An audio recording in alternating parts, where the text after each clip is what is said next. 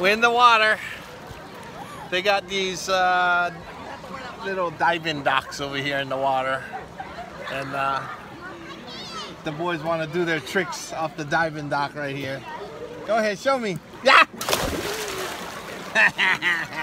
Waterproof? he tried to get the waterproof phone wet. He want to test out the waterproof phone. I want to test it. Yeah. I want to test it.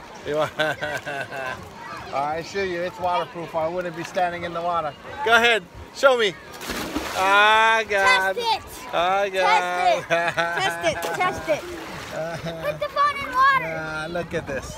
Look at this priceless moment when my boys Watch the try to phone try to catch try to catch the phone. No way they can catch We the phone. chase them down. They can't catch the phone.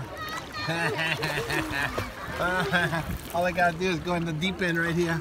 Ooh, it's getting deep. Ooh, it's getting deep. Ooh, maybe I gotta hide around the, the net right here. Ah, he thinks he's they're gonna catch me or something. Huh?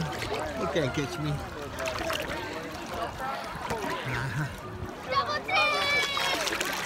Having too much fun in the water.